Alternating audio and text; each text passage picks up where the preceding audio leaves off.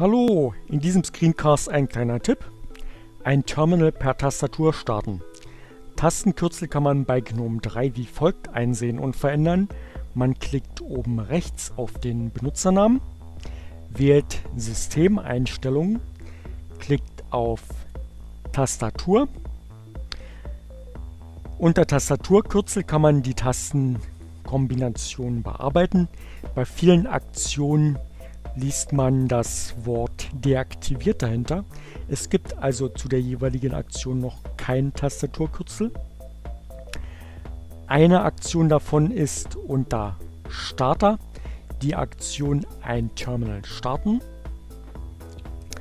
Ein Klick auf deaktiviert und man ist in der Lage für ein Terminal starten eine Tastenkombination zu bestimmen, zum Beispiel Steuerung Alt R,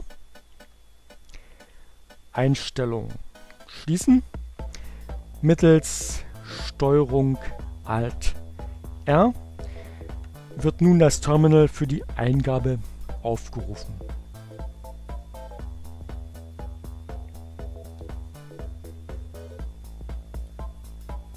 Ciao und viel Glück!